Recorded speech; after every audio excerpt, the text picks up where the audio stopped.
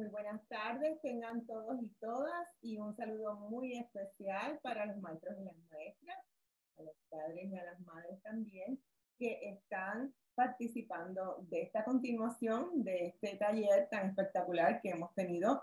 Comenzamos ayer y el título es Estrategias de Regulación de Emociones por medio de, en el día de ayer estuvimos cubriendo por medio de la creatividad, de actividades creativas y hoy vamos a estar trabajando este tema por medio de experiencias sensoriales. Quiero darles la bienvenida también a nombre de la Fundación Rafael Hernández Colón y la Biblioteca Infantil y la Mayoral Wishing, porque son nuestros auspiciadores y por medio de ellos es que estamos llegando a todos ustedes. Los que están viendo y participando de este taller a través de la plataforma Zoom, saben que si desean obtener un certificado de participación, pueden solicitarlo al enlace que le vamos a poner próximamente en pantalla en el lado del chat. Ahí pueden solicitarlo. Eh, el precio por ese certificado son 10 dólares. Va a tener la oportunidad aquellos que participaron ayer y los de hoy, ambos pueden obtener el certificado por 10 dólares, por la misma cantidad.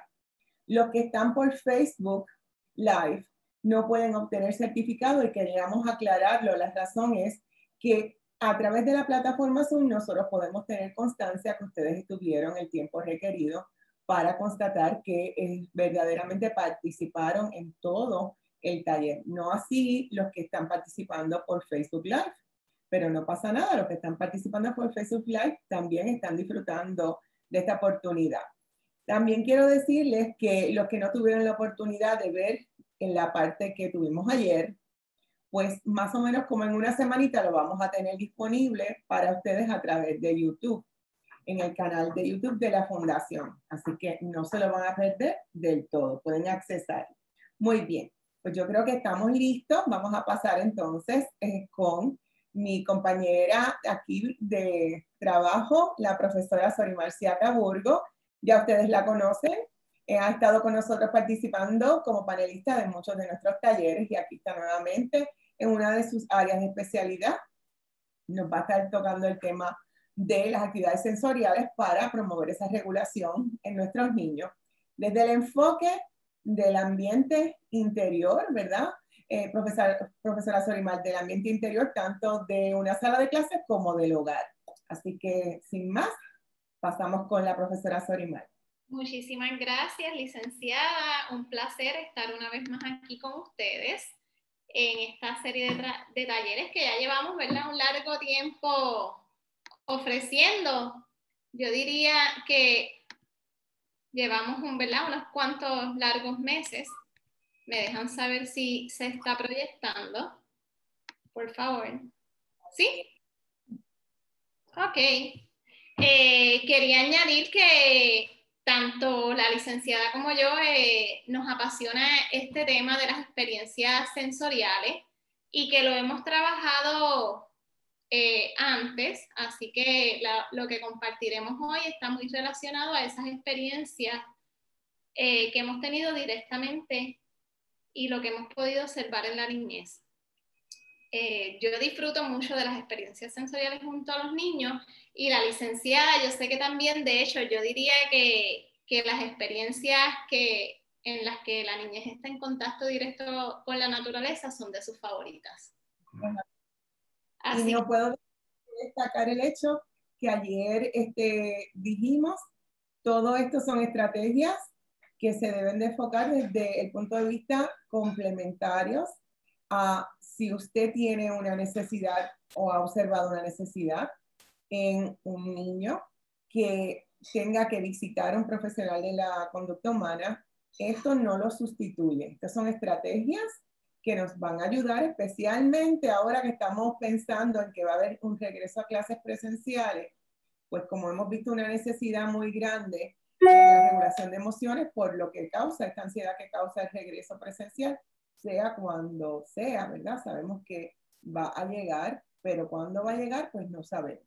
Así que esto les puede ayudar, pero recalco nuevamente que no es excluyente de una visita a un profesional de la salud emocional en el caso de aquellos que sí lo requieran.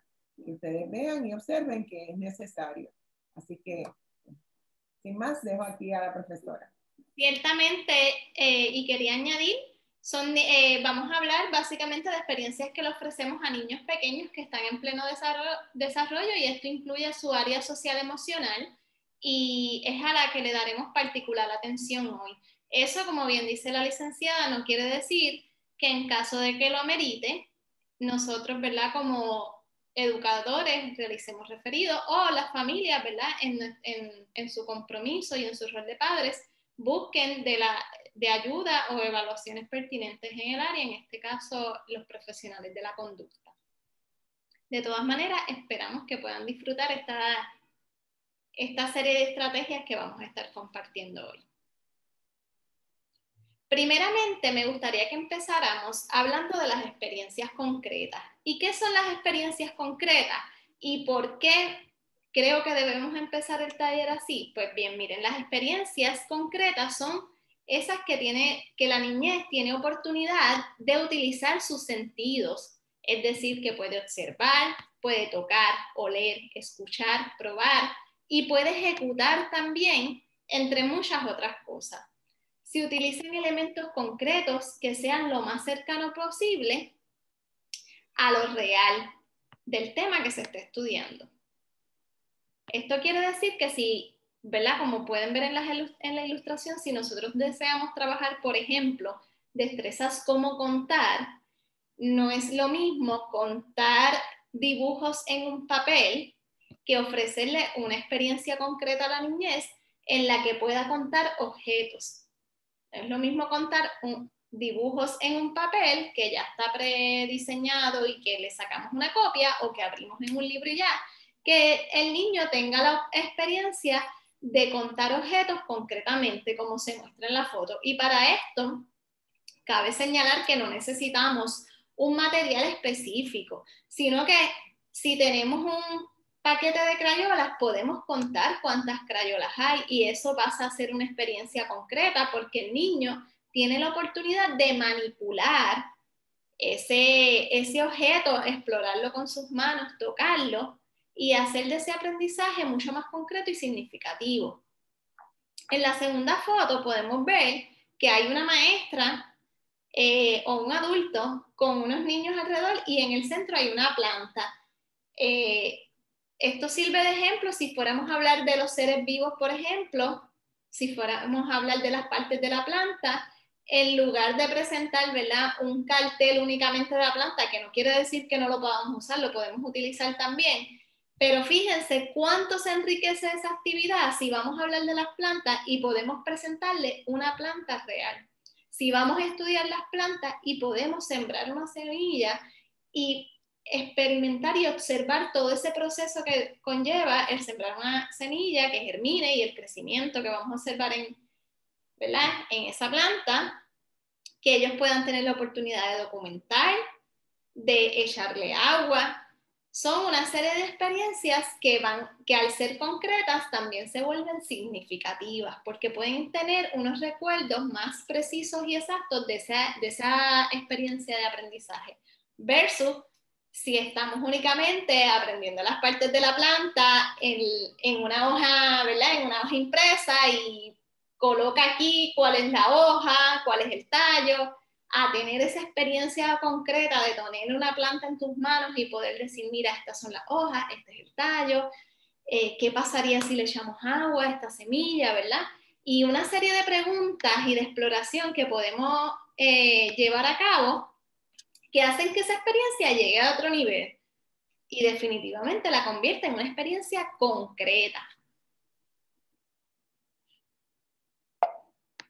Bien, la importancia de estas experiencias concretas en la preescolaridad, ¿por qué son importantes? Porque sí, hemos hablado ya de lo que son, pero ¿por qué son importantes? Porque estas experiencias van a promover el aprendizaje y la comprensión de nuevos conceptos. Y es que, como les explicaba, a veces integramos nuevos términos, nuevos conceptos en la niñez, pero si son muy abstractos, definitivamente es muy muy, muy complejo que lo puedan entender simplemente porque se lo expliquemos verbalmente. Y yo creo que un buen ejemplo para esto puede ser cuando hablamos de los conceptos flotar y hundir, que son conceptos que al escucharlo, imagínense un niño de tres años, yo le digo flotar y hundir sin una explicación de, ¿verdad? Una ilustración, una explicación concreta, definitivamente le va a dar un poquito más de dificultad comprender un concepto tan nuevo y tan abstracto. No es lo mismo que le presente un cubo o un envase con agua en la que podamos experimentar qué objetos flotan y qué objetos se hunden, en la que podamos entender que flotar es estar arriba y que hundirse son los objetos que van a estar en el fondo del agua, del envase. Y este tipo de experiencias son las que, ¿verdad? Hacen que ellos puedan comprender mejor estos conceptos pueden hacer de la experiencia una significativa, volvemos a lo mismo. No es lo mismo decir que hoy la maestra habló de flotar y hundir, al decir, hoy tuve la oportunidad de experimentar cuáles objetos flotan y cuáles se hunden. Pudimos probar y descubrimos que este sí flota y este no, ¿verdad? Y tener esa experiencia y hacer ese niño partícipe de ese proceso de aprendizaje en el, que está involucrado activamente porque está ejecutando, está realizando. El niño tiene un rol activo, como acabo de decir, totalmente en ese proceso de aprendizaje. Él está trabajando mientras está aprendiendo. No es un aprendiz pasivo, es un aprendiz activo porque forma parte principal de ese proceso de aprendizaje. Así que da la oportunidad de descubrir y explorar el mundo a través de los sentidos y esto sí que lo hemos escuchado antes, ¿verdad? Que aprendemos a través de los sentidos y, y si hablamos un poquito de las inteligencias múltiples, podemos también reconocer que unos aprendemos de una manera y otros aprendemos de otra. Puede ser que yo sea más visual, puede ser que yo sea más auditiva. Y la realidad es que así pasa con la niñez también. Todos tenemos fortalezas diferentes y entre esos está incluida los sentidos. Profesora Sorimar, tenemos una mano levantada de Maribel Díaz. Sí, claro que sí. Vamos a ver si permito que Maribel pueda eh, hablar, este, que, podamos escuchar el audio de Maribel. Si no, ella podría eh, escribir. También. No sé si ella desea hacerlo por audio.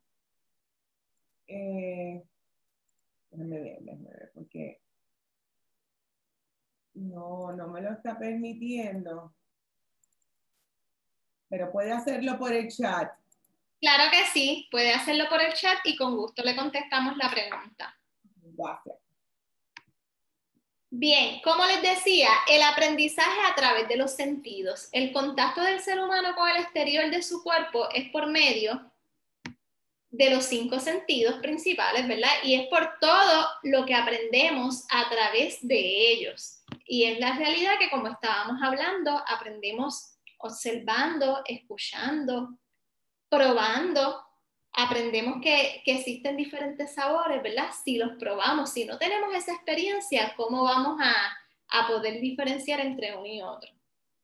Explorando con nuestras manos, con nuestro olfato, por lo general, en la educación tradicional empleamos solamente el sentido de la vista y el de la audición, porque usualmente el educador, ¿verdad? Deja saber lo que se espera que se realice en la actividad, se le ofrece algún hoja impresa o quizás se le muestran unas láminas, pero en la educación tradicional básicamente se, se queda ahí, en escuchar y observar lo que tengo que hacer y entonces luego pues hago, realizo un ejercicio y esto ¿verdad? ocurre usualmente en niñez también un poco más grande.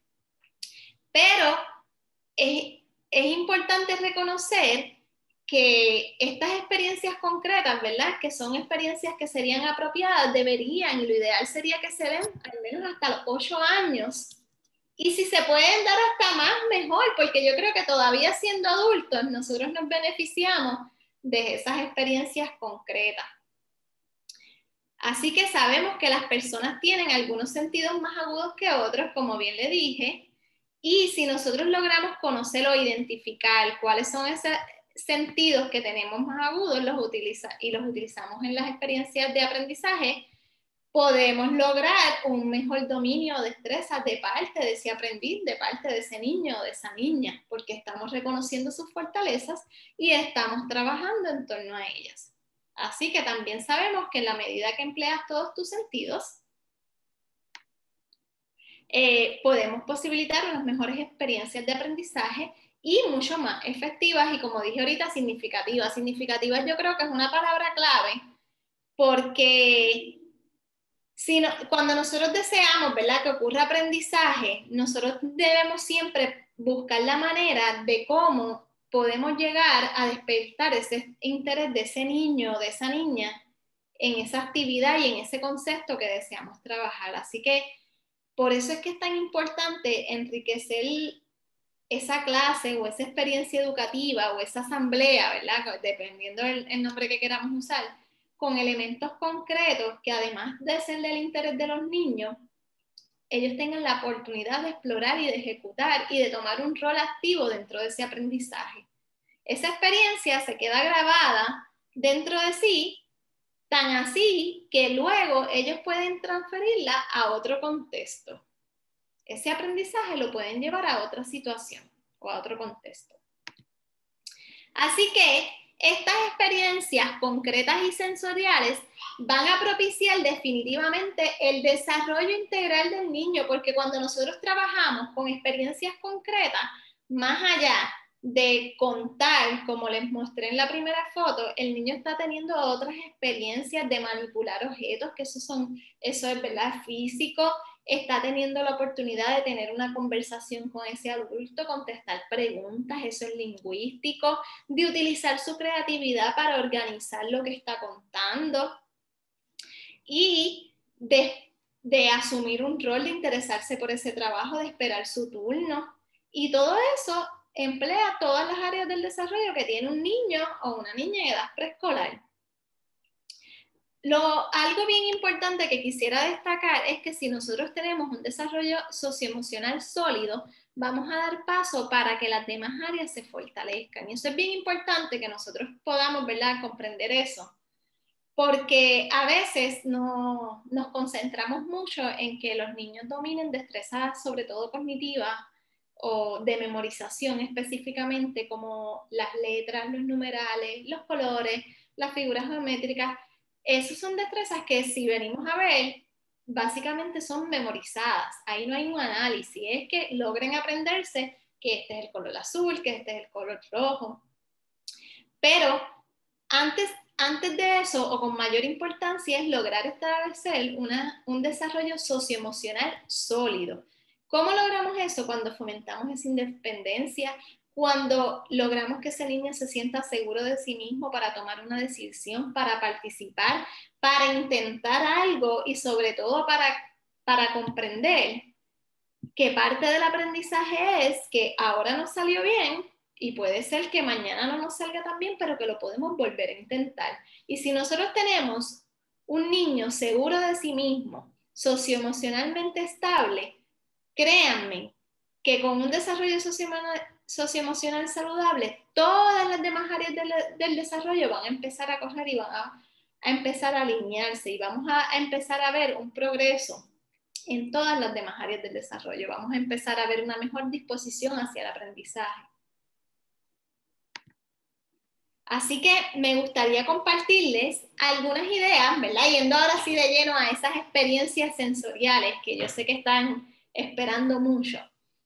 Ideas de materiales sensoriales. Pueden haber muchísimos más, pero quise hacerles una pequeña lista, porque muchas veces tenemos muchos materiales sensoriales en la misma casa, así que pueden servirnos estos materiales para crear esas experiencias. Una linterna, incluso la luz solar puede ser una experiencia sensorial. Burbujas, la crema de afeitar, que se puede utilizar para muchísimas cosas, arena, agua, hasta el agua puede servirnos para experiencias sensoriales. El foaming puede ser el liso, pero también el que es de brillo es excelente porque le da una textura un poco áspera. Los jelly birds son las bolitas estas que se inflan cuando le echan agua, agua, la vamos a ver más adelante. Algodones, arroz, maicena, plastilina, contact paper.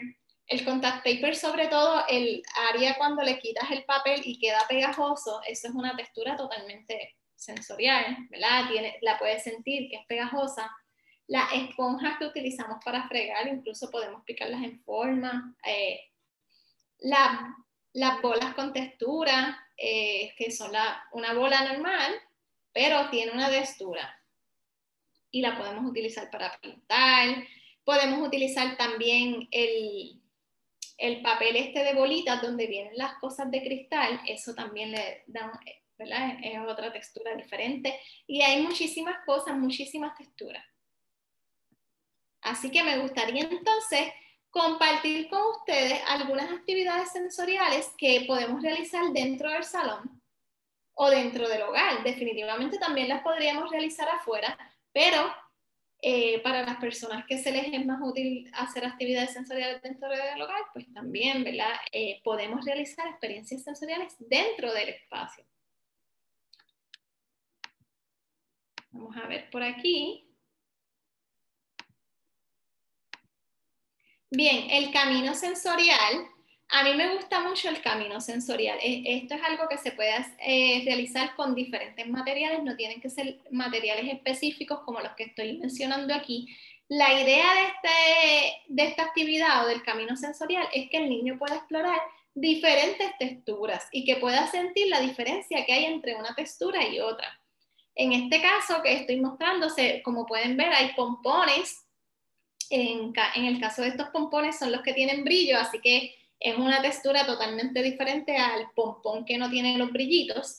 El foamy de brillo está ahí y el foamy liso también está ahí. Esponjas, contact paper, como le dije, si le removemos el papel al contact paper va a dar esa sensación de pegajoso. Eh, podemos también añadirle otros elementos y, hacer un camino sensorial que puedan tener diferentes tipos de slime, que pueda tener arena, crema de afeitar. Y entonces van teniendo exploración con diferentes texturas.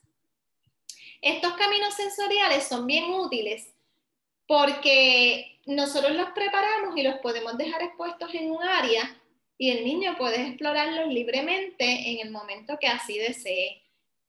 También otra, otra modalidad que podríamos hacer de esto es hacer un panel sensorial que peguemos en la pared y que el tenga la oportunidad de explorarlo cuando desee. Así que así lo podemos poner en el piso, pero también podemos tener esa variante de pegarlo en la pared.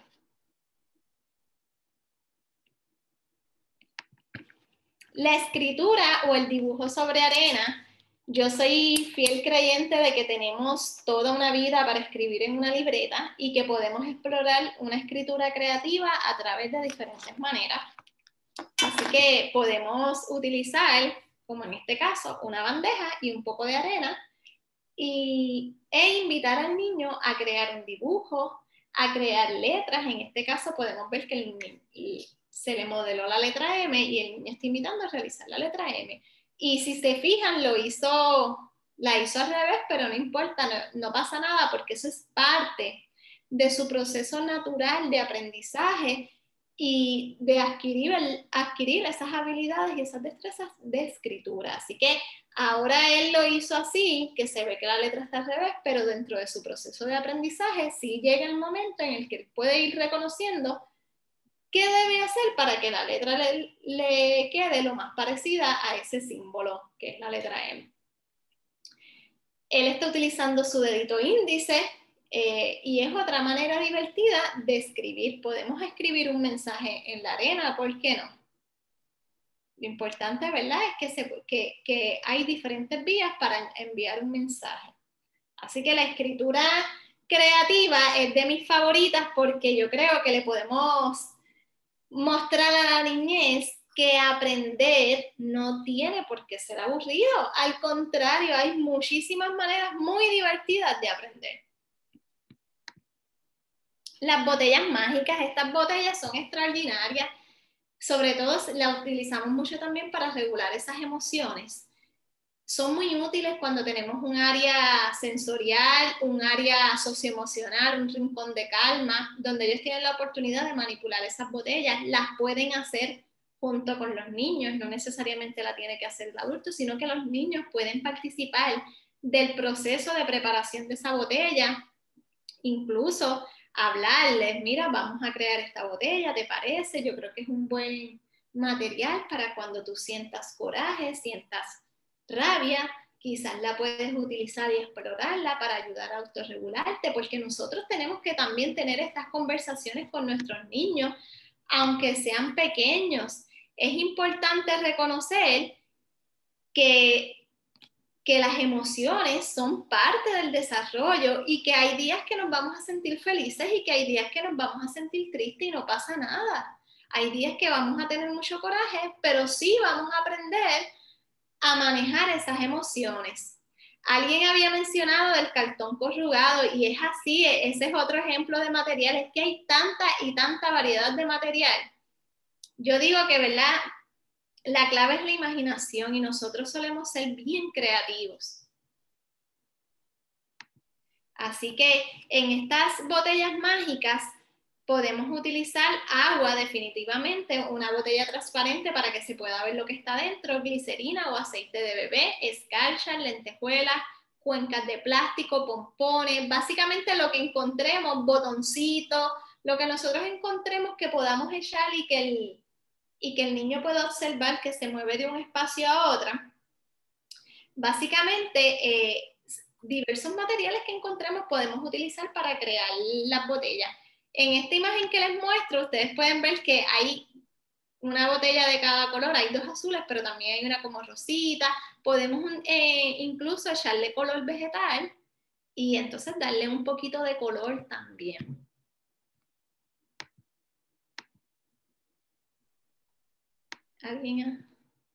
Muy importante, como nos dice Luz Ocasio, muy importante sí sellar esa botella. Eh, podemos sellarla con tape, podemos sellarla con pega y entonces luego cerrarla, pero sí es muy importante sellar la botella por muchas razones. Si tiene objetos muy pequeños adentro, no queremos que, ¿verdad? Que ese que se vaya a abrir y que vaya a causar algún accidente importante sí cerrar la botella, pero estas son actividades que siempre vamos a hacer supervisadas eh, por un adulto. También si nosotros ¿verdad? tenemos estas botellas, creamos estas botellas con los niños, también podemos destinarlas a un espacio, un rinconcito en el hogar, donde ellos tengan diferentes materiales para esa regulación de emociones, para que cuando ellos sientan eh, que están, coraje, están con coraje o están irritados tengan la oportunidad de tener esos materiales accesibles para utilizarlos. Creando con luz ultravioleta, a mí me encantan las actividades con luz ultravioleta. Siempre busco la manera de integrar la luz ultravioleta o el black light. Eh, y es mucho más fácil de que lo que uno cree. Obviamente sí necesitas tener el black light o la luz ultravioleta, pero hay muchas, muchas cosas que nos funcionan para trabajar con la luz ultravioleta. Todo, básicamente todo, todo lo que sea en colores neón nos va a funcionar. Los marcadores, los highlighters, los destacadores funcionan para que se vean así reflejados en la luz ultravioleta. Como ustedes pueden ver en esa foto, eh, todo lo que está escrito está escrito con highlighter amarillo o highlighter verde, el destacador. Y ellos, eh, aquí los niños tuvieron la oportunidad de crear algo con plasticina, pero esa plasticina es plasticina en colores neón, es la, eh, ¿verdad? Es plasticina que los colores que utilizaron son colores neón y las plasticinas en color neón también se reflejan en la, en la luz ultravioleta.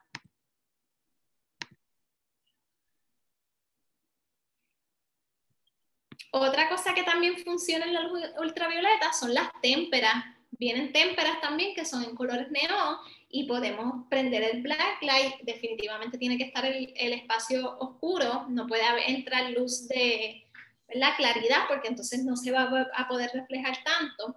Pero uno cierra la ventana o apaga la luz, ¿verdad? Busca un espacio donde quede un poco oscuro para que puedan realizar esa actividad.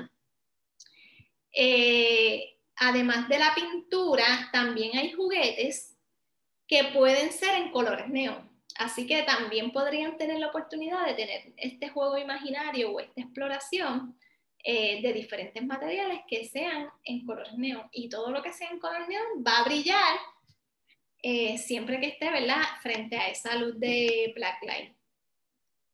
Pues el black light lo pueden conseguir, en, la realidad es que en cualquier tienda, no me gustaría, ¿verdad?, eh, hacer promoción, pero por internet se consiguen, en las tiendas donde hacen, venden cosas para festividades o celebraciones también la venden.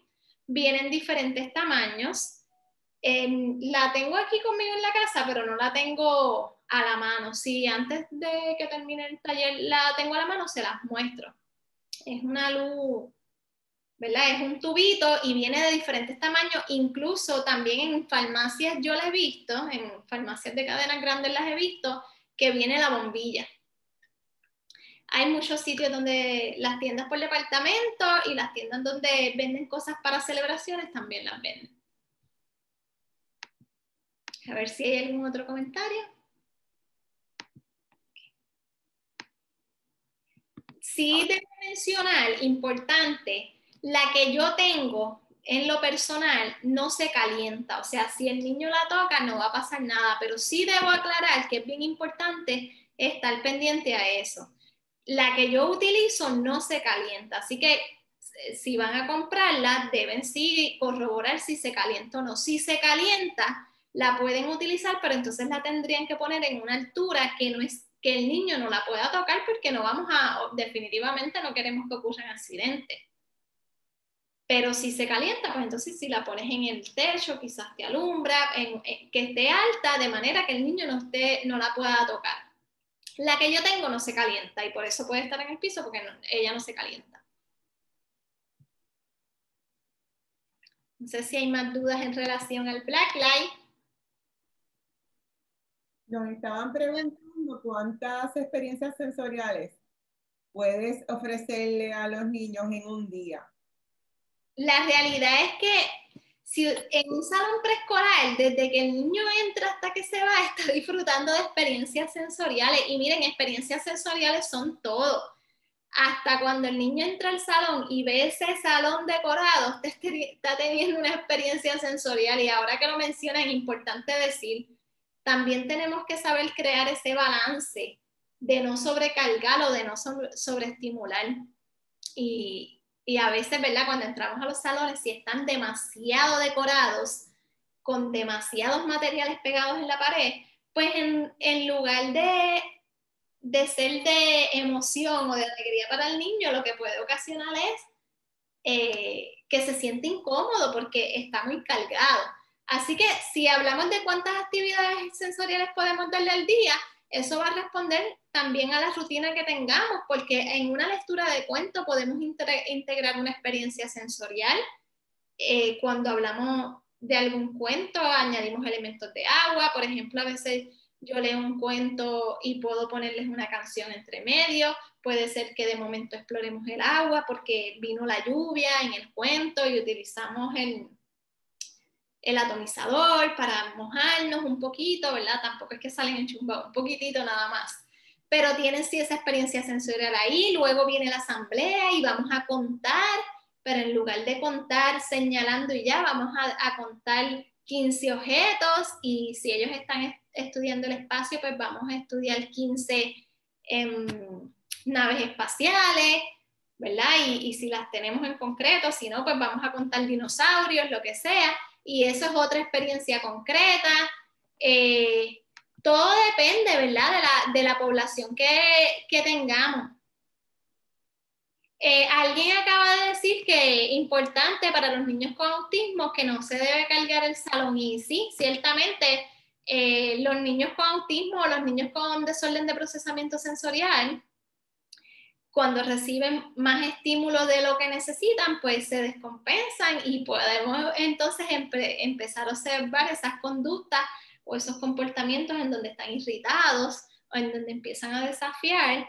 Y muchas veces eh, lo que está ocasionando eso es la sobreestimulación, que puede ser bien también un ambiente excesivamente decorado o cargado de demasiados materiales, de demasiada decoración profesora, y que yo quisiera añadir, porque muchas veces cuando tenemos estudiantes y niños en el nivel escolar que no han recibido un diagnóstico, que no tienen una evaluación hecha y están pasando por todo esto, que es sobre, están siendo sobreestimulados, tienen, tienen una, unas reacciones a, a tanto estímulo visual.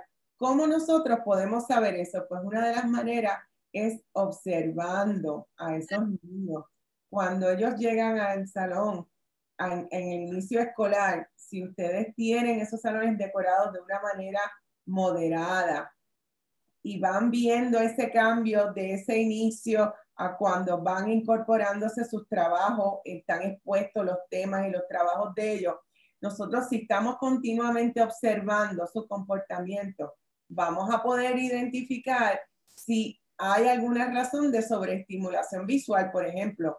Y lo mismo pasa con la auditiva, pero tenemos que estar prestos a todo el tiempo estar pendiente de ver qué está pasando con ellos y analizar los cambios.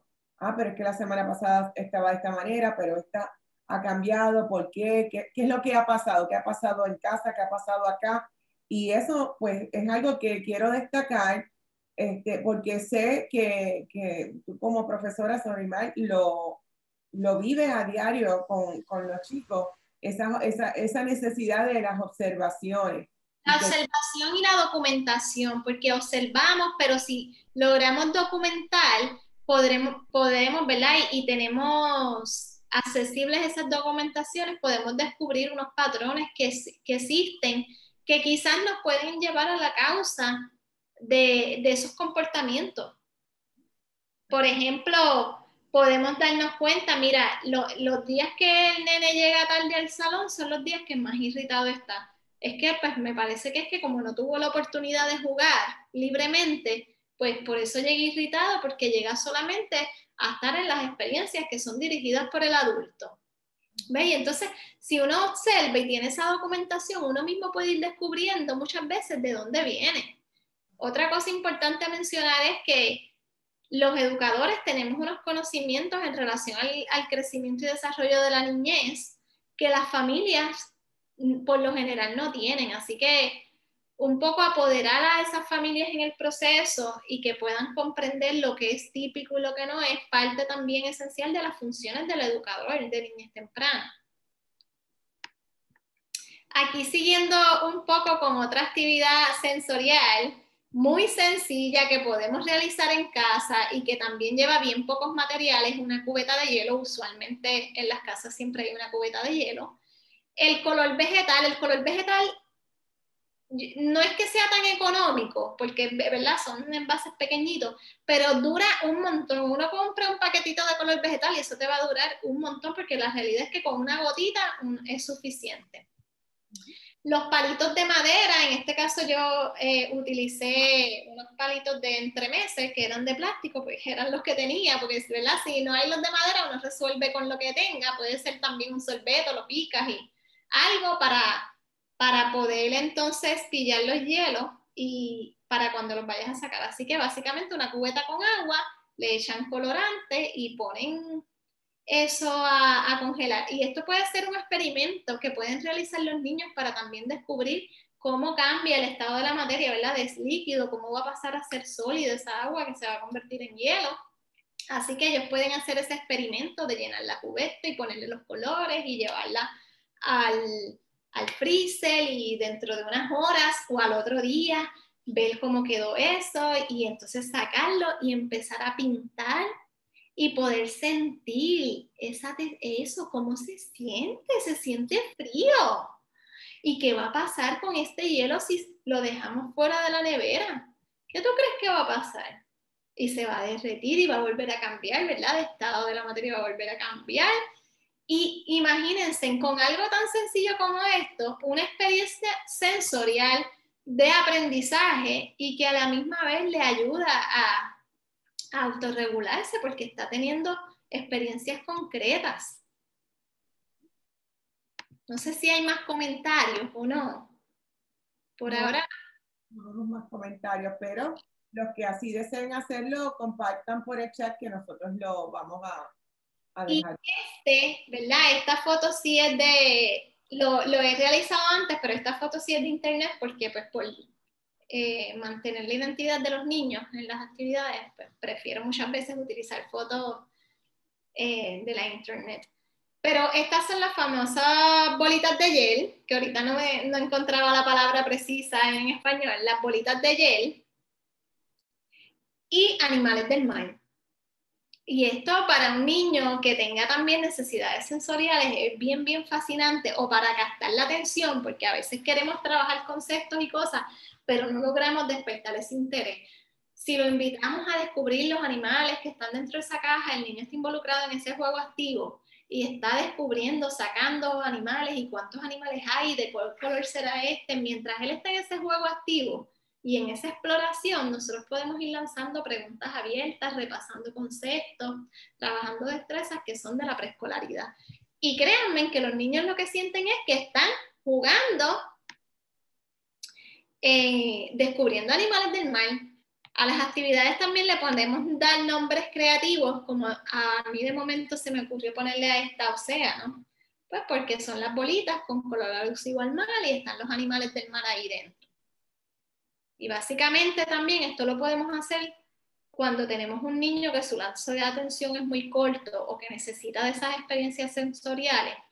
Podemos modificar las actividades y preparar cajitas sensoriales para ese niño que necesita ese acomodo razonable mientras maestra está dirigiendo la asamblea de grupo completo. Quizás este otro niño puede estar dentro de esa asamblea, pero con, con el asistente en la parte de atrás manipulando esa cajita sensorial que tiene básicamente los mismos materiales o conceptos que la maestra está presentando en grupo grande, pero está teniendo esa experiencia tú a tú que le hacen, que hacen que ese aprendizaje sea accesible para él también, porque estando sentado, observando o esperando un turno, nada más no es suficiente para que ese aprendizaje sea accesible. Ahora sí, vamos de lleno a lo que son las experiencias y las actividades al aire libre con la licenciada. Pues gracias, profesora Sorimar. Antes de comenzar las actividades al aire libre, yo quería hacer un comentario adicional bien, me parece bien pertinente. Estábamos hablando ahorita, estábamos escuchando a la profesora hablar ahorita sobre cómo los maestros pueden contribuir al conocimiento de los padres que no tienen conocimiento profundo sobre el desarrollo de los niños. Y yo me quedé pensando que era importante compartir con ustedes, porque todo lo que estamos e, e, exponiendo en el día de hoy y en el de ayer, claramente es para el beneficio de nuestros niños. Entonces, pues vamos a añadirle un detalle. El detalle es que esa comunicación con los padres es de doble vía y el conocimiento es de ambas partes. O sea, nosotros los maestros recibimos información y conocimiento eh, este, bien importante de parte de los padres, sobre todo sobre ese niño, ¿verdad? Así que nosotros los maestros deseamos recibir información de los padres para comprender mejor a ese niño y comprender mejor ese entorno familiar. Y también necesitamos también tener una comunicación de doble vía con los profesionales que en algunos casos están presentes en la vida de los niños, específicamente pues los terapistas ocupacionales, terapistas del habla, los psicólogos, otros profesionales que inciden en nuestro trabajo, ¿verdad? Porque nosotros nos nutrimos de la información que ellos pueden dar y nosotros también podemos aportar para el bienestar de esos niños la información de lo que está pasando en la sala de clase. Eso no quería dejar de, traer ese punto porque verdaderamente somos una comunidad todos para ayudar a los niños, todos envueltos y, y todos este, deseamos aportar. Así que vamos a hablar ahora desde el aspecto de las actividades al aire libre, cómo ellas eh, nos pueden ayudar a regular las emociones en los niños. Y quería hablarles de estas dos eh, fotos que tenemos aquí en pantalla. Tenemos unos niños que parece que están en un bosque y tenemos al otro lado un, tal vez un parque, no se ven los niños allí, pero es un parque donde hay elementos de la naturaleza.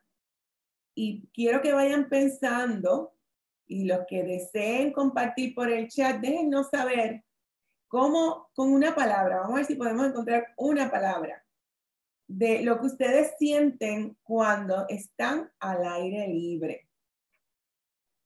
La palabra que ustedes quieran, porque nosotras queremos saber cómo son esas experiencias para ustedes, porque en la medida en que sus experiencias sean positivas, paz, relajante, libre, libertad, relajación, qué bonito. Me siguen diciendo paz, libre. Eh, ahí me están dando una sugerencia y la vamos a tomar de realizar un taller donde el padre y el alumno hagan el ejercicio a la misma vez. Muchas gracias, Mariloli. Lo vamos a hacer meditación, armonía, relajación.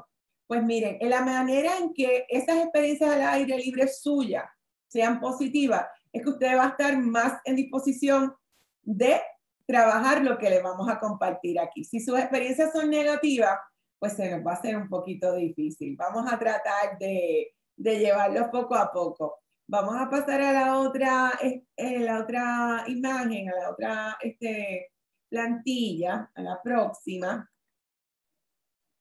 Vamos a ver. Ok. Yo quiero explorar con ustedes unos conceptos que muchas personas están escuchando, están de moda, pero quiero diferenciarlos para que los conozcan y también exploren. Después de, de este taller, vayan y busquen información sobre estos conceptos. Se habla de escuelas al aire libre. Eso es un concepto de los bosques escuela, de granja escuela, de salones al aire libre, de experiencias educativas con contacto directo con el medio natural. Tienen similitudes, pero verdaderamente no son iguales. Vamos a ver estas fotos que tenemos aquí a mano derecha. Por ejemplo, podríamos decir que los jóvenes que están aquí con, con un adulto, que puede ser el maestro, están en un salón al aire libre. Están participando en una experiencia educativa. Hay una niña en el centro, está levantando su mano, tiene una libreta y por eso entendemos que están tal vez en lo que le podemos llamar un salón al aire libre. Luego si vemos la foto de mano derecha, que quiero resaltar el hecho que esa foto es un bosque escuela que está en Puerto Rico, en adjuntas. Se llama La Olimpia, es una escuela completamente al aire libre, pero es una escuela dentro de un bosque. ¿okay? Así que escuela al aire libre no necesariamente es un bosque escuela, pero puede ser las dos cosas. Eh, esta escuela recibe estudiantes de escuela elemental y escuela intermedia. No es para los preescolares, pero lo lindo es que tenemos un bosque escuela en Puerto Rico como tal eh, ahí se llevan a cabo muchísimos experimentos y es fabuloso el ambiente. Lo, lo comparto para que los que les gusten estos temas vayan y lo visiten. ¿Qué es una granja escuela? Pues la palabra lo dice. Y aquí vemos una foto de estas dos chicas eh, alimentando unas gallinas. Pues anteriormente se daba mucho en los preescolares que tenían eh, una especie de, de granja también y eran unas experiencias fabulosas para los niños. Pero poco a poco eso ha ido desapareciendo en Puerto Rico por toda la situación de alergias y reacciones que han podido tener los niños, eh, eh, algunos animales, ¿verdad? Y, y, los peligros que puede representar algún contagio, etcétera. Pero eso ha existido en Puerto Rico y en el mundo, pues continúa existiendo. Yo no digo que ya no lo tenemos, pero es que no tengo conocimiento que en este momento se estén dando como tal, granjas escuelas, pero ese es el concepto. Salones al aire libre. Miren, esta última foto que tenemos ahí a, mano derecha, que están los niños en los triciclos y, vemos atrás una chorrera. Eso no es precisamente un salón al aire libre. Eso es una área exterior para juegos, es para patio. Y quiero destacarlo porque para que usted tenga un salón al aire libre como tal, pues tiene que tener también los elementos propios de, de, de, aprendizaje tradicionales, por ejemplo, tradicionales en, un, en, un, sentido. Pues, por ejemplo, un área donde los niños se puedan sentar a escuchar, ¿verdad? A lo mejor tienes una área para observar y, trabajar todos los conceptos de ciencia o una área de explorar todo lo que tiene que ver con, con lo, lo, sensorial, pero también puedes tener libros que llevas y, y vamos viendo más o menos lo que estarías teniendo dentro de una sala de clase, lo vas viendo afuera, pero claro, se recoge y se guarda para que el, el no lo dañe. Pero no es un salón de clase al aire libre, no es, no es el patio tradicional de las escuelas, eso, eso no es. Lo tendrías que convertir en eso y lo puedes hacer este, pensando bien qué puedes llevar al área exterior para convertir ese patio tradicional en una sala de clase al aire libre. Así que, y el contacto directo con el medio natural, esas experiencias educativas se pueden dar en cualquier lugar que haya un contacto directo con la naturaleza. Podemos pasar entonces a la próxima. Y aquí yo los voy a llevar en un viaje cortito. Voy a prender el, micrófono para que puedan escuchar. Gracias, gracias. Esto es en Chile.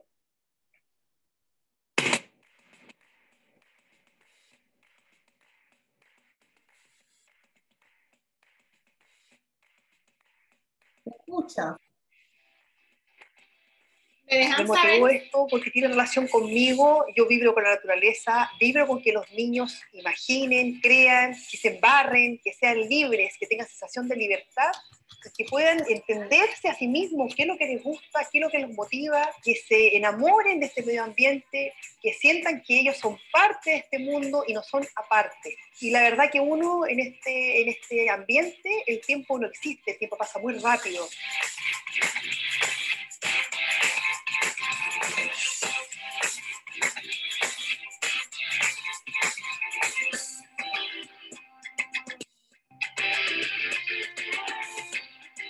Hacemos muchas cosas divertidas. Una vez con unos espejos estábamos, estábamos avanzando por todo el bosque viendo las copas de los árboles. Otra vez, por ejemplo, estábamos haciendo lápices, talándolo, hay un rato de trabajar y juego libre. Y después trabajar de nuevo. Me encanta. Súper bueno.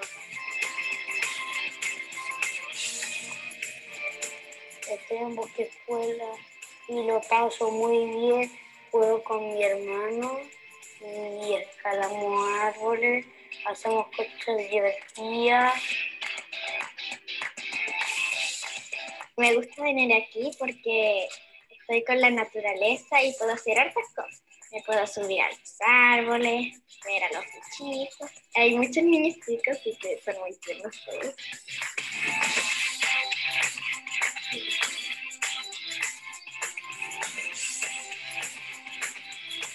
Traer a mis hijos Esperanza y Martín, porque es un proyecto que me convenció cuando lo escuché, que me motivó. Encuentro que la naturaleza es, es como muy sana para los niños. Invierten su tiempo de una manera en que casi no sienten cómo se va y tienen la posibilidad de abstraerse con la naturaleza y enriquecerse de ella. Para mí el proyecto de Bosque Escuela encuentro que está súper bien enfocado y bien con objetivos, que tiene objetivos, pero enfocado de una manera libre, donde los niños no son tan dirigidos como en el colegio, pero que sí tiene una estructura desde lo que persigue en la vinculación de los niños con el bosque. Nosotros hemos visto desde que se iniciaron esta actividad que ellos se vinculan de mucha mejor forma, ya por lo menos en cosas prácticas, eh, el temor a, a, estos bichitos que le eran extraños ya no lo es tanto. El hecho de reconocer incluso algunas especies de árboles nos va dando la, la, la creencia cierta de que ha sido una muy buena experiencia uno ve cambios importantes en los niños, cómo desarrolla su vocabulario, la amistad, la tolerancia y una serie de cosas importantes. Y a su vez, en la parte física, corren, se oxigenan, practican el equilibrio, escalan árboles. Y por eso mismo, los invito a todos ustedes a que se interesen por este maravilloso proyecto.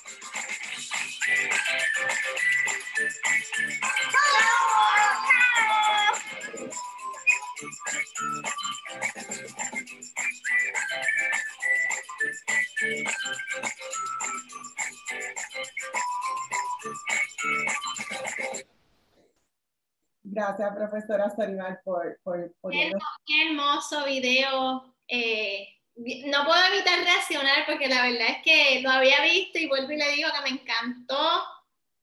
Y, y wow, la cara de los niños, las expresiones verbales de ellos. Exactamente. Y fíjense que al final nos dicen, esto nació hace 90 años en Inglaterra, se da mucho también en Alemania. Este, y yo le dije al principio que esto estaba de moda. Está de moda, aunque no comenzó ahora. Vamos a tener eso bien claro. Pero claro, ¿por qué está de moda? Porque estamos viendo muchos, muchos desórdenes sensoriales.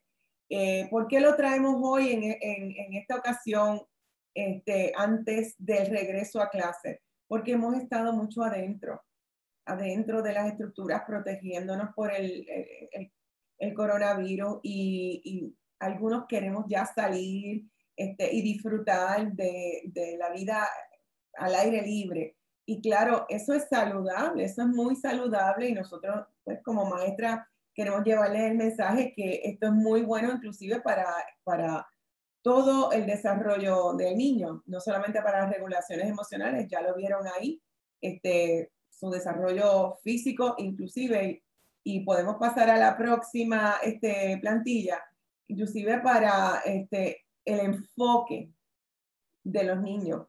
Voy a leerles eh, una, una, cita de, de, este trabajo de fin de curso de maestría de un estudiante de la Universidad de Granada. Y dice así, por un beneficios que provoca el hecho de estar expuesto en ambientes naturales. Por un lado, y, voy a ver, ok, por un lado, promueve el desarrollo sensorio-motor, el movimiento, el juego espontáneo, y creativo y la sociabilidad. También favorece el desarrollo y la coordinación entre los sistemas nervioso, inmunitario, endocrino, mejorando así la resistencia contra enfermedades. Además, potencia los procesos de aprendizaje. La atención es un mecanismo esencial para el aprendizaje y los niños sienten una curiosidad innata por explorar el mundo, sobre todo el mundo exterior, ¿verdad? La naturaleza ofrece una rica variedad de experiencias sensoriales y cuanto más se ejerciten en movimiento y los sentidos y en las primeras edades, mejores habilidades cognitivas desarrollarán después. Qué bueno que aquí en, tan poco espacio nos trae todo el panorama. Miren, es excelente para actividades sensoriales, para todo el, el desarrollo del niño y mientras más temprano los llevemos a disfrutar del ambiente al aire libre, de la naturaleza, pues más van a, van a aprovechar.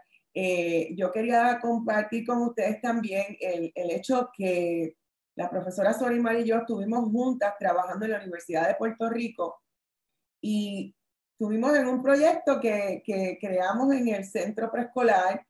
Allí se llamaba el Jardín de los Sueños y allí todas estas cosas no solamente se vivieron, ¿verdad? En, fomentar cada vez las actividades educativas al aire libre en mayor grado, sino que también está documentado todo, esas, eh, eh, todo lo que estamos diciendo eh, del desarrollo físico, todo eso está documentado porque habían unos planes y unas evaluaciones de los estudiantes que constatan todo esto. Y asimismo, si ustedes van y, hacen una búsqueda en Internet, van a ver mucha, mucha investigación sobre todos los beneficios que tiene estar en el ambiente natural para los niños y para también las regulaciones emocionales. Eh, vamos a pasar a la próxima. Vamos a ver los beneficios uno por uno que este, están compartiendo de la guía Montessori se pueden activar los cinco sentidos al mismo tiempo y de manera espontánea. Lo más que me encanta de esto es la parte espontánea.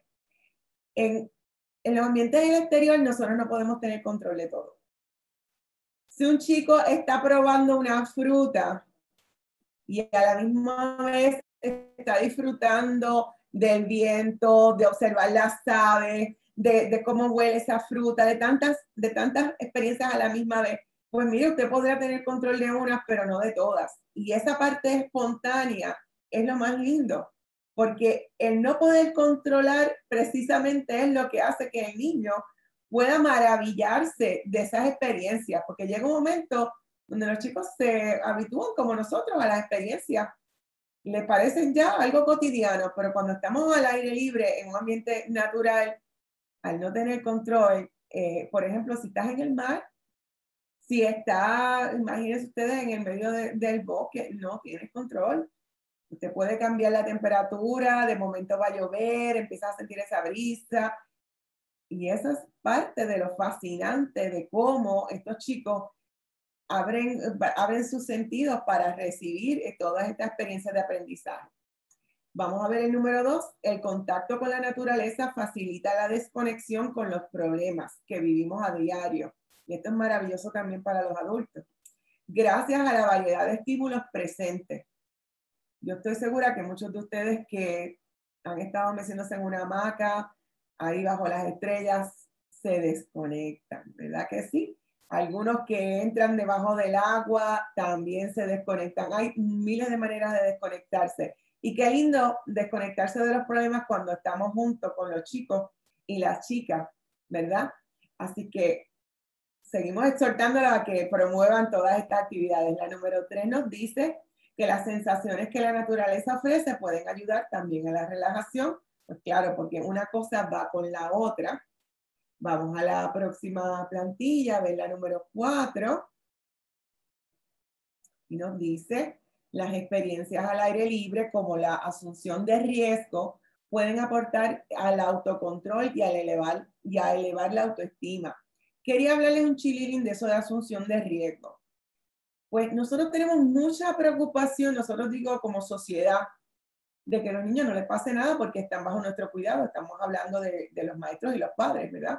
Y somos responsables. Nosotros tenemos una obligación de protegerlos, una obligación legal muy, muy seria no, no la vamos a descartar nunca.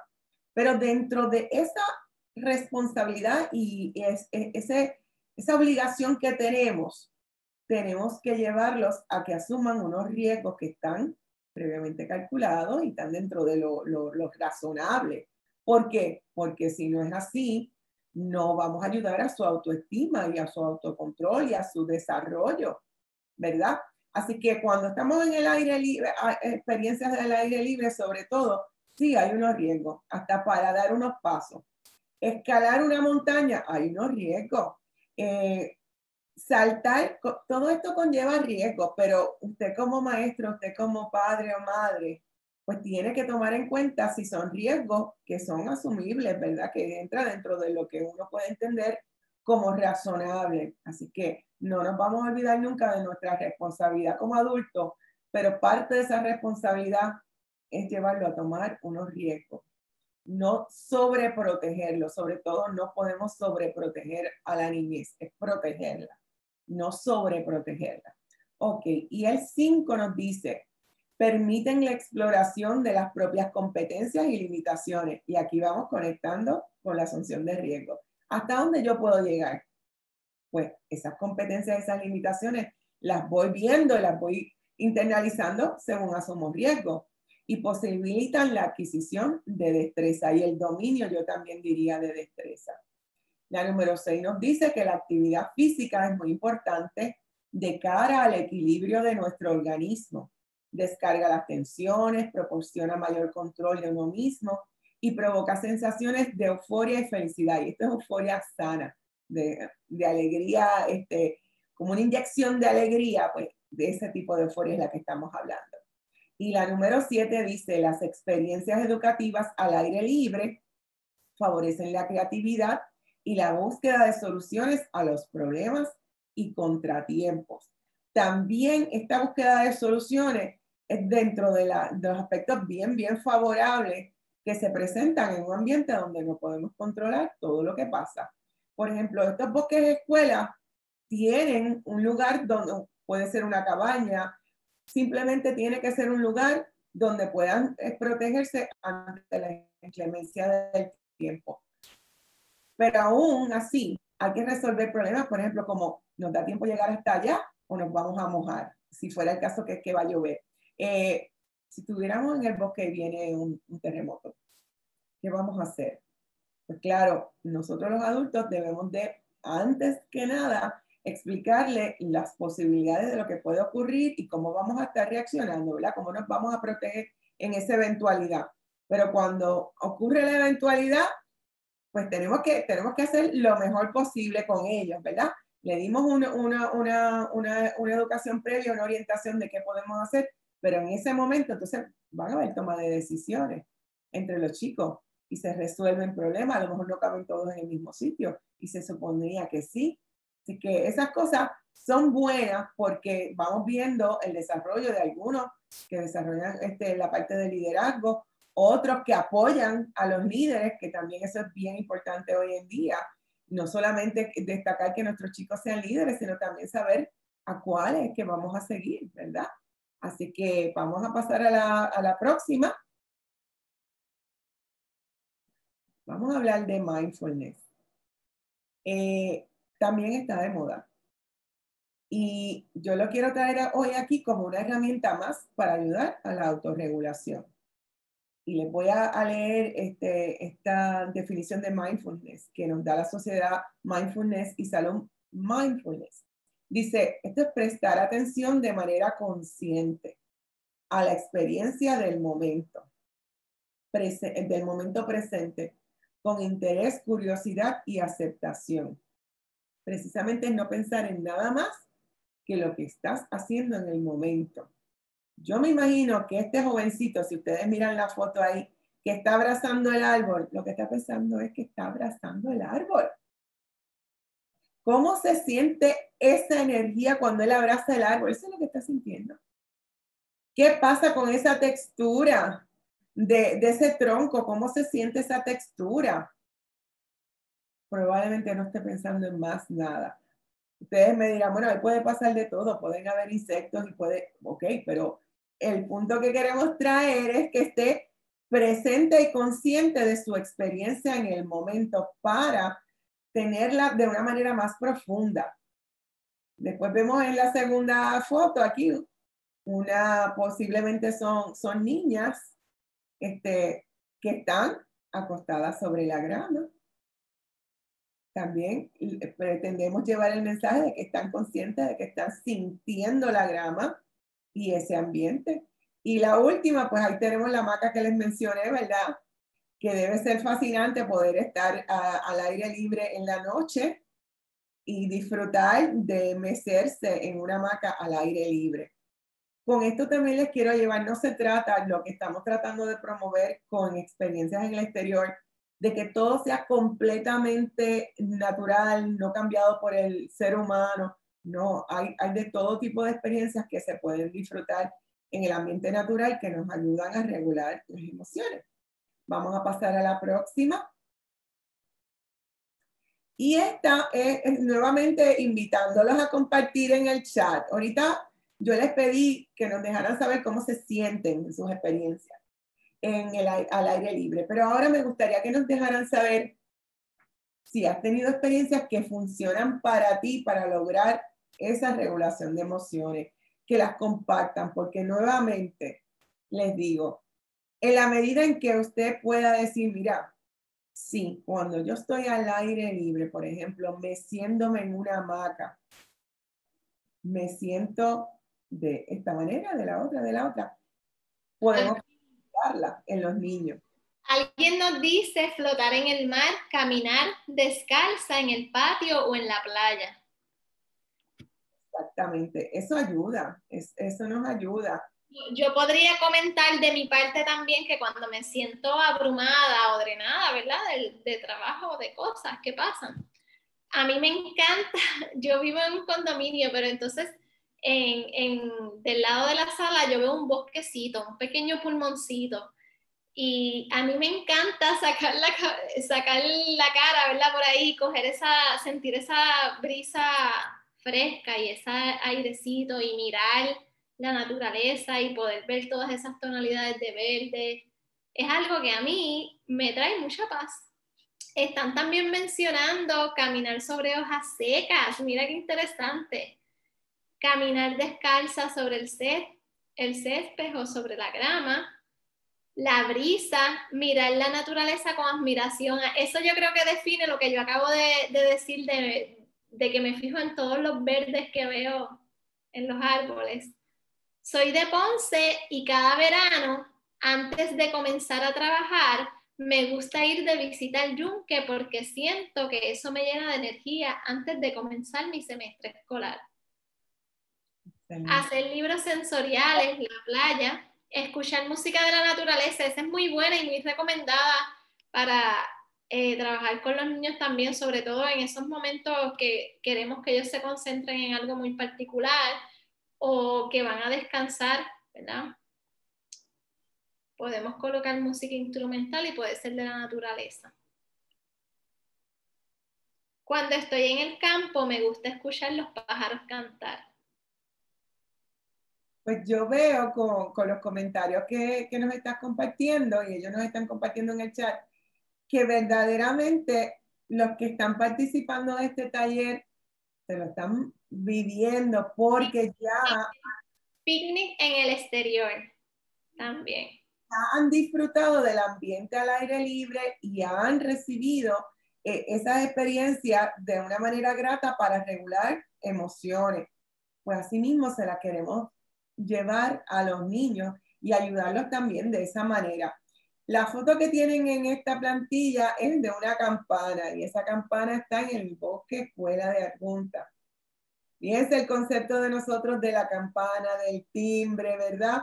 Y ahí está en el medio del bosque la campana para llamar a los jóvenes para que pasen de una actividad a otra. Mira, hasta acampar en la playa. Todo eso, todo esto verdaderamente sí tiene efecto en apoyarnos a, regular nuestras emociones, claro que sí. Yo estoy haciendo las prácticas en un centro y he notado que los niños se tranquilizan con música de la naturaleza o del agua caer, el sonido del agua caer poner música suave.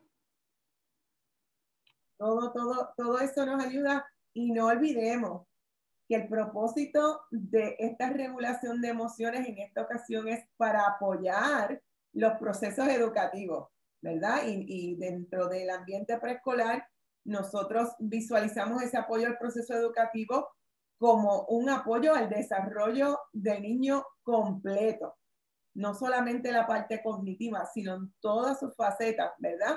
Así que por eso es que hemos querido traer estos temas en el día de hoy, para apoyar fundamentalmente ese, ese regreso a clase y todavía podemos salir al exterior y aprovechar todas estas cosas este, para aquellos que todavía no estén directamente presencial, todavía tienen estas oportunidades tal vez durante la semana, de todas maneras los fines de semana se pueden hacer planes para, para estar en un ambiente en el exterior.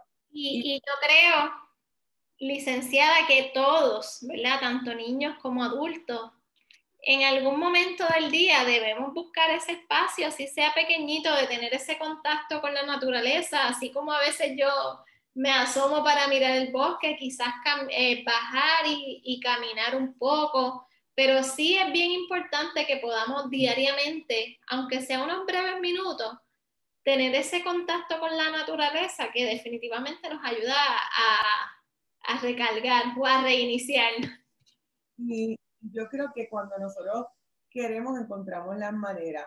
Eh, una anécdota, como les dije, la profesora Sonima y yo trabajamos en la Universidad de, eh, Puerto Rico, hemos trabajado juntas dentro del jardín botánico.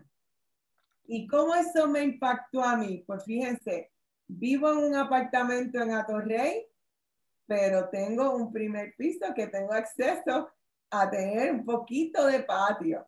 Sorimay vive en un apartamento y tiene sus plantitas en la parte de atrás de la pantalla. Pueden ver las plantas de Sorimar. Ella no se queda sin contacto con la naturaleza. Esas son las que están aquí en la oficina, pero por toda la casa yo tengo mis plantitas. Hay que tener, hay que tener compañía, o sea, seres vivos dentro de los espacios. Más allá, obviamente, más allá de los otros seres humanos que compartan espacio con uno, sí tener esa, ¿verdad? Esas plantitas, también los animales. Eh, alguien nos, nos escribe que tomar café en la tarde admirando el campo donde vivo en Corozal. Qué rico, esa, esa brisita de Corozal. Cambié de ambiente, viví en el área urbana y ahora vivo en la montaña y soy muy feliz, maestra preescolar. Pues vamos a pasar a la próxima. Alguien habló también del cuidado de las plantas y que le habla a las plantas. Yo también le hablo a mis plantas. Yo creo que no he llegado a hablarle a las plantas, pero sí le hablo a los animales. Ok, vamos a ver los criterios para el desarrollo de actividades al aire libre que promueven la regulación de emociones. El número uno dice que las actividades al aire libre deben ser mayormente libres. Aire libre, actividades mayormente libres y emergentes. E, esto pues debe ser fácilmente entendible por lo que yo les dije, porque no controlamos todos los elementos que hay allá afuera y particularmente eso provee unas experiencias diferentes a las que tenemos control dentro de la sala de clase o dentro del hogar, ¿verdad? Así que eso es lo que estamos buscando. Número dos, los maestros y los padres deben asumir el rol de guías en la exploración y en el juego al aire libre. Y un guía no deja a los niños solos nunca. Muy, muy importante. Eh, pero tampoco controla todas las, las experiencias. O sea, un guía está ahí supervisando, guiando, anticipando, pero le da la libertad prudente de acuerdo a su desarrollo para que el niño pueda explorar y jugar al aire libre. Número tres, además de ser co-observadores junto con los niños, estoy moviendo aquí el chat, eh, y guardianes de la salud y seguridad por medio del ejemplo y la orientación necesaria a tiempo y escribí co-observadores porque los niños están observando, ¿verdad? Pero usted también tiene que estar observando para anticipar, para promover este, y ayudar a esa curiosidad y, esas preguntas que los chicos se hacen. Usted también motiva esa exploración cuando está co-observando junto con el niño. Vamos a pasar a la próxima. Comentó que algunos viven en medio del cemento ¿por qué no hacer un ejercicio donde le pregunten al, alumno o al niño si prefieren cuidar una planta o un animalito? Y, claro que sí, como habíamos mencionado, es importante tener contacto con ese ser vivo. Y créanme que, que, no es tan difícil, o sea, hay, como en mi caso, plantas que son de interior que, que no son tan difíciles de cuidar. Ok. Aquí le, les hice pues una, una recolecta de actividades y experiencias sencillas que ustedes pueden desarrollar. En la parte de referencia, yo les voy a resaltar eh, unas actividades que, que, ustedes pueden accesar luego que tienen todo lo que usted puede querer, que si los objetivos redactados, el paso uno, el dos, eh, cómo evaluar, pero aquí yo quise traer nada más que las sencillas para que, para que lo puedan hacer tanto los padres como los maestros, ¿verdad?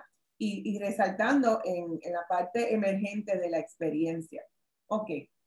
Cuando estamos hablando de experiencias sensoriales al aire libre, pues rápidamente nos puede venir este, a la mente la creación de huertos, que eso está ocurriendo muchísimo.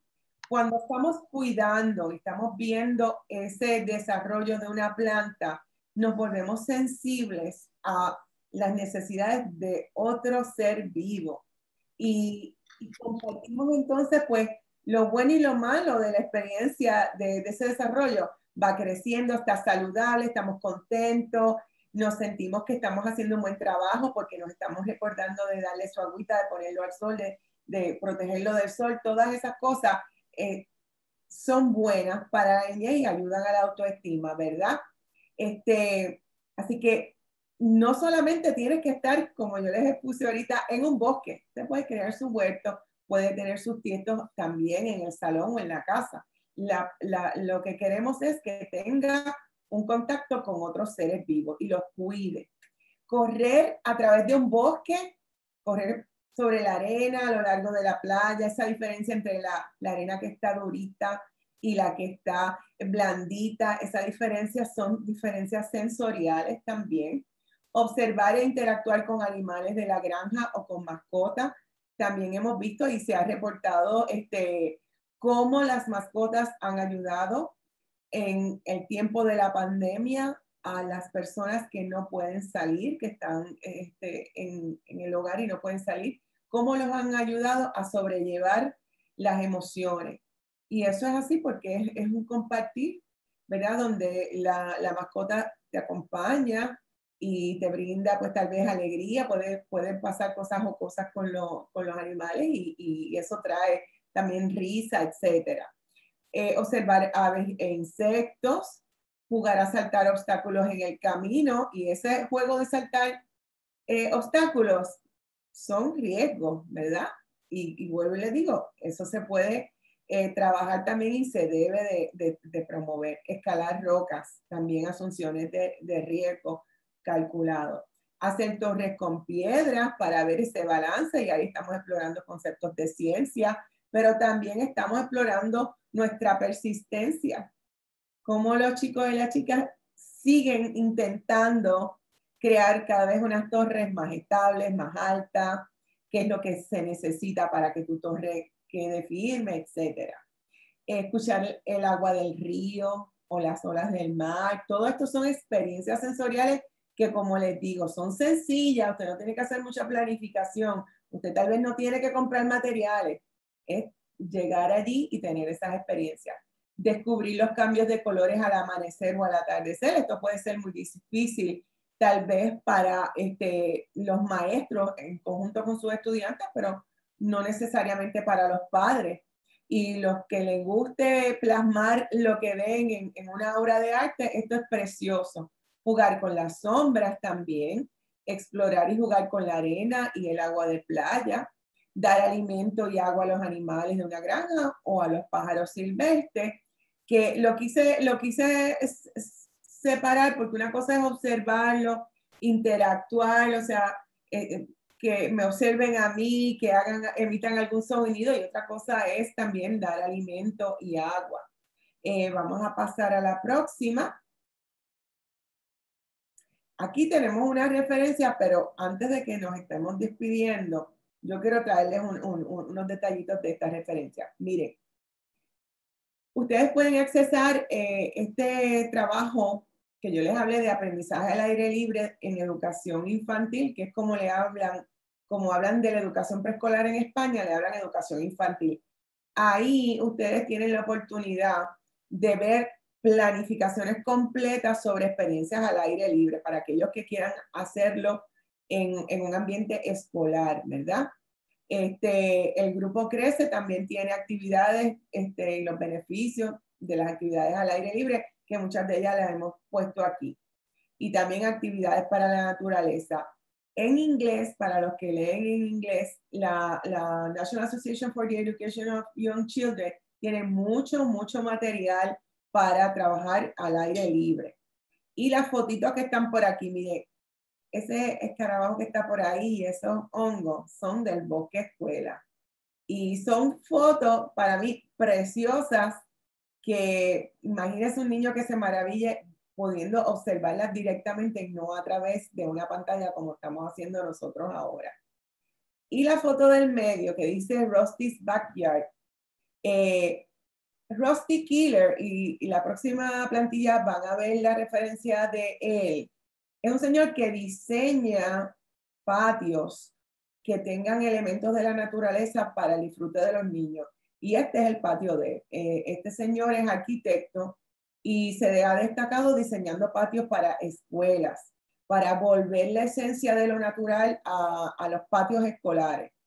Eh, pero él, en esta etapa de él como abuelo, pues ha transformado su propio patio para que sus nietos este, disfruten de experiencia de las que estamos hablando, eh, pero desde el patio de su casa, porque tienen esa bendición de que tienen patio y pueden tener esa experiencia, no tienen que necesariamente llegar hasta el bosque, pero el punto es que la trabajan y esas son creaciones en conjunto del el abuelo con los nietos, ellos mismos lo trabajan, no, no es prefabricado. Eh, quisiera ir a la próxima, que es donde, donde pueden ver más información. Eh, yo le estaba hablando de este señor Rusty Killer, por lo, para los que le interese. También hay una compañía en Estados Unidos, que se llama Nature Explorer, que ofrece talleres y todas estas, estas experiencias este, de contacto con la naturaleza, de educación en la naturaleza.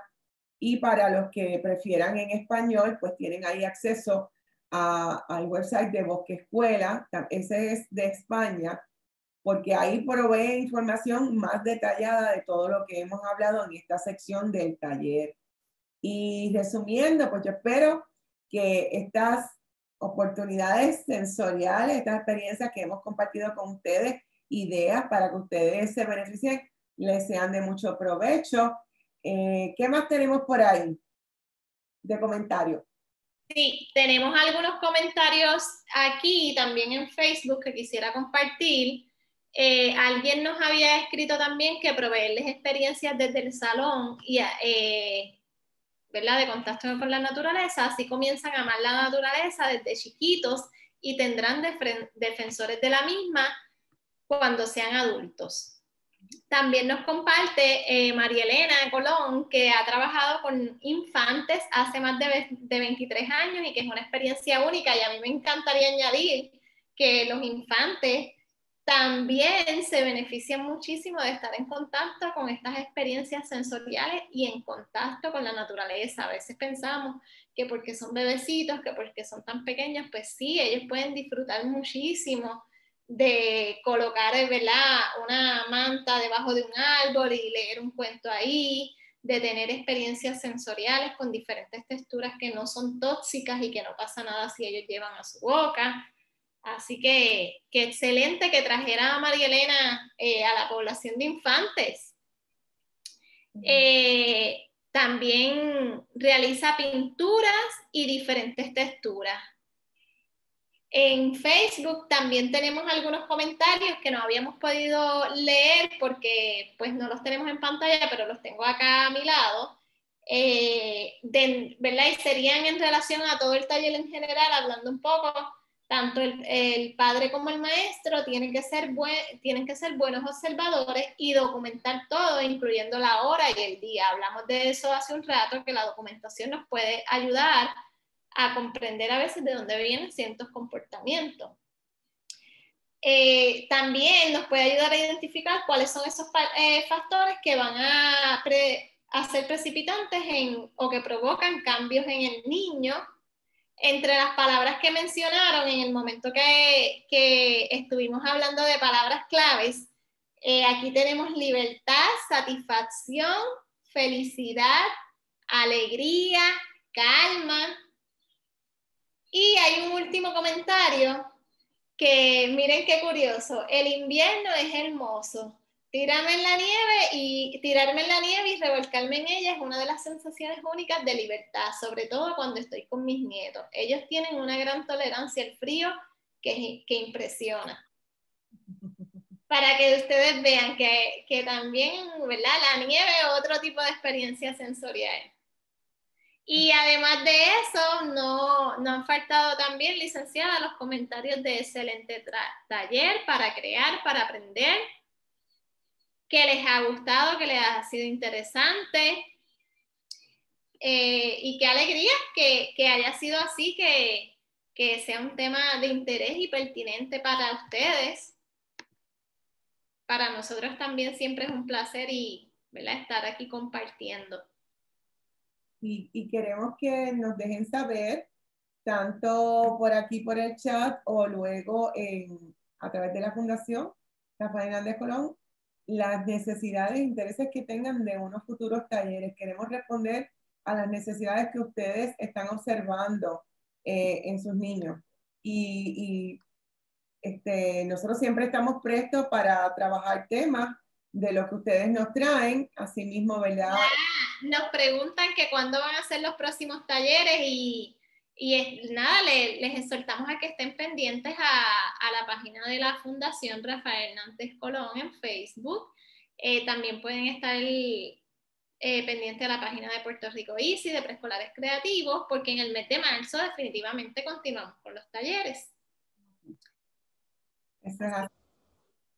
Así que nada, gracias a todos por esa participación excelente, que hemos creado un dinamismo bien chévere, sabemos que les gusta el tema, exploren con los chicos al aire libre y no le tengan miedo a las experiencias sensoriales que se pueden integrar en su, en su ambiente. sí, se me ocurre que hasta un día podemos hacer una experiencia sensorial entre nosotros. Oh, y, y, lo hacemos más concreto, hablamos de experiencias concretas nosotros mismos. Mira, ya hay gente diciendo que sí. Pues lo vamos, lo vamos a hacer y lo compartimos, lo compartimos por las redes sociales, esa experiencia. Tengo, te levantó la mano. Sí, alguien levantó la mano, pero eh, la, no nos permite, ¿verdad? Como abrir más micrófonos, pero sí pueden escribir en el chat y nosotros podemos leerle el comentario o la pregunta porque ¿verdad? No tenemos la opción de abrir el, micrófono. Sí, Abigail tenía una pregunta. Si ella desea hacerla por el chat. Están preguntando por el certificado. Si hay certificado, los que tomaron el taller en el día de hoy nada más, pues el, certificado sería de las experiencias eh, sensoriales y los que tomaron ambos, pues sería sensoriales y creativas. Los que tomaron solamente el de ayer, pues sería de experiencias creativas. Al principio del taller, compartimos el link a través del chat. Lo pueden buscar al principio para que puedan ver ese enlace y solicitar el, el certificado. Los que están por Zoom pueden hacerlo, como les dije. No podemos extenderlo a Facebook Book Live, como les dije, porque no tenemos constancia del tiempo que usted ha podido participar y queremos que los que tengan certificado verdaderamente pues tengan, eh, eh, hayan adquirido el conocimiento que hemos compartido aquí, ¿verdad? Con, con la profesora Sorimari, con los compañeros que nos han traído también sus experiencias y sus comentarios que también contribuyen a, a que este taller sea más, más abarcador y más, más significativo para ustedes están solicitando el link. Creo que ya hay una persona que también lo incluyó. Si no, si por favor el, personal de la fundación puede en, la barra de mensajes volver a colocar el link. Aunque hay personas que están eh, colocándolo. Así que muchas gracias. A ver. Sí, ya, ya también. Hay varias, ya hay varios mensajes que incluyen el link. Ok, los que no estuvieron ayer, saben que les, les comuniqué que pueden verlo en aproximadamente una semana, pues ya va a estar en, en, el canal de YouTube de la Fundación, lo pueden ver la grabación. Y si no, ya está disponible en Facebook también. Sin más, ¿verdad? Nos despedimos. Hasta la próxima. Muchísimas gracias por estar con nosotros. Muchas gracias a todos.